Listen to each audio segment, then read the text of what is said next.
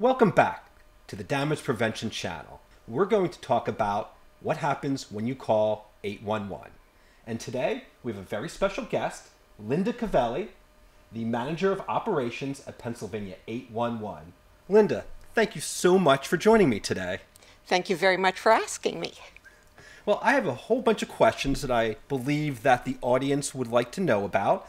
Uh, what happens when you call 811, what the process is, and the first thing, the easy question is, what's the phone number?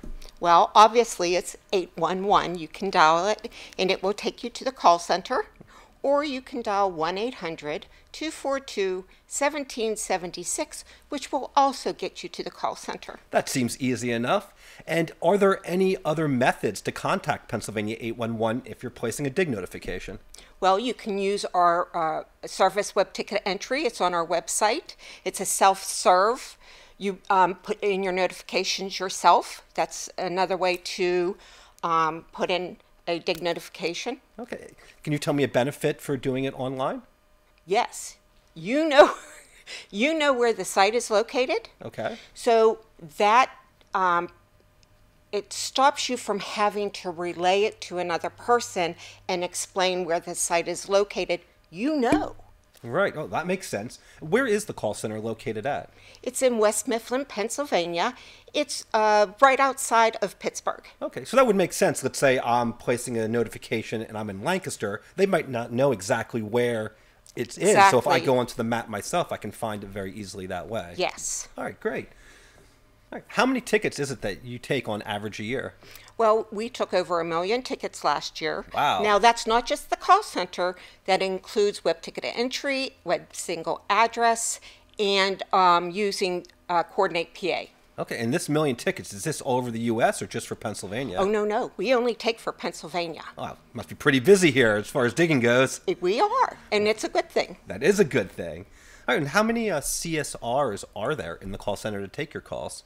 We have um, about 50 people in operations. That, that's including my supervisors, my senior CSRs who are trainers, and the uh, call center, the agents. Okay, and what are their hours? Uh, when can we actually call you up? 24 hours a day, seven days a week. We never close. So I want to call you on Christmas at 3 a.m. That's not an issue. Yes, you can. Okay, very good. Now, so I want to go ahead and place a dig notification. I give you a call at 811. What happens next? Well, you call into the call center. We'll have a customer service representative answer the phone. Um, they're here to help you, so they'll um, guide you through if you don't know what you're doing, if you've never called before. Um, they're very pleasant, and they'll ask you specific information where you're going to be digging. Now, sometimes we get a lot of people who've never called before saying, Why are you asking me all these questions? Well, every question has a meaning and it's there for a purpose. So it helps the locators identify how deep you're going to be digging and the width and length. So there are reasons for the questions. Okay, can you give me an example of a few of the questions that you ask? Well, uh, one question we ask is what county municipality that the work is being done and uh, the location, uh, the nearest intersection to the location. We also ask you what type of work you're doing, uh, the depth, the length and width. We also ask if you've um, marked the proposed excavation area in white. Okay, and why would they do that? That indicates where you're going to be working. So that's helpful to the locators when they come out so they don't have to look all over the yard or mark the entire property. They know exactly where you're digging. No, that makes sense. It does. Seems, seems a lot easier than just taking them out to an open field and saying, hey, have at it. It's much simpler, and a lot of people get confused by that because we say, Have you um, marked the proposed excavation area white? And they'll say, But that's why I'm calling you to have the lines marked. We'll explain, No, this is so the facilities know where you're working so they know what areas to mark. Do you think it's better to mark the site in white before they place the phone call or after they place the call? Well, it's good to mark it before because you, you can better describe the area. Okay, perfect. Now, um, I know we've talked a little bit. We talked about the routine dig notification that I mentioned, but I assume there's various types of uh, notifications? There are. What kinds are there? We take a demolition ticket. If there's going to be any demolition on a property, a building, you can call us and we'll take that. Um, we also have a routine notification, which is um, a standard ticket, which is a thousand feet, intersection to intersection, whichever is greater on the same street in the same political subdivision. Uh, we have uh, design notifications. We have we take emergencies. If there is something that truly is an emergency that cannot wait, we do accept those calls. Okay. Are there different types of emergencies out there? Well, there are. We do have uh, an emergency that is we. If you would damage a line, you would call us. You would report that uh, to us, and then we would send it out, and that goes out as an emergency as well. Okay. What if I'm just driving around and I see a construction crew out there, but I don't see any markings on the ground? Ah, good question. You can actually call us. We have what we call a um, no one call ticket.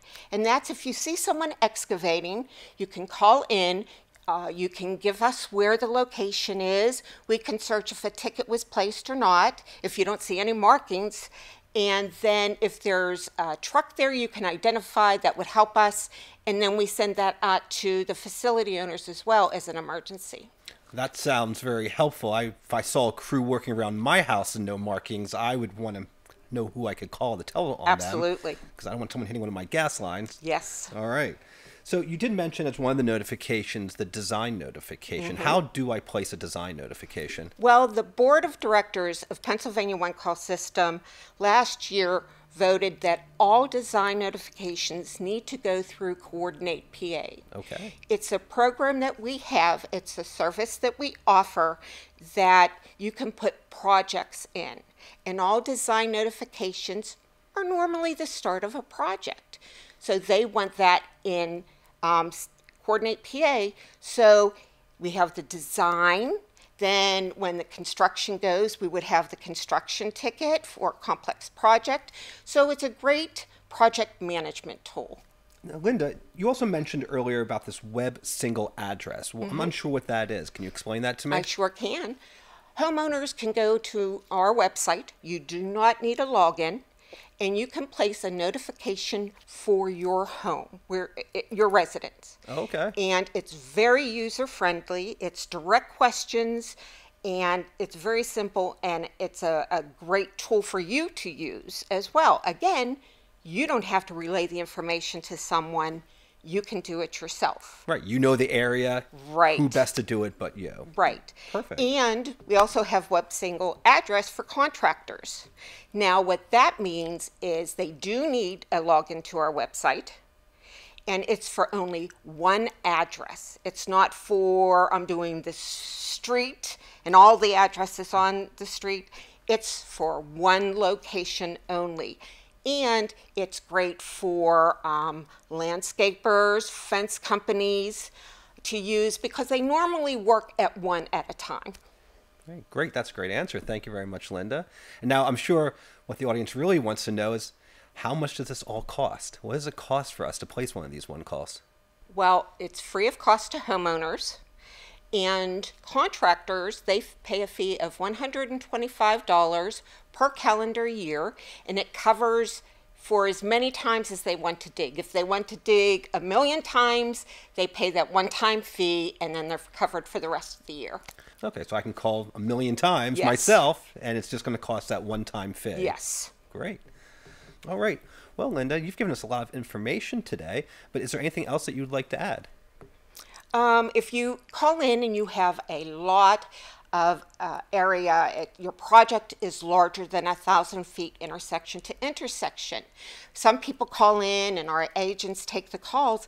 That's a large project. So we um, encourage you to put that through Coordinate PA because, again, it's a great project management tool. You can um, make your project in there. You can add your contractors, how different contractors that you want to add. So all your information is in one place. Okay, that, that sounds very convenient, so thank you. thank you. All right. Well, I think that's everything that we I wanted to ask you today.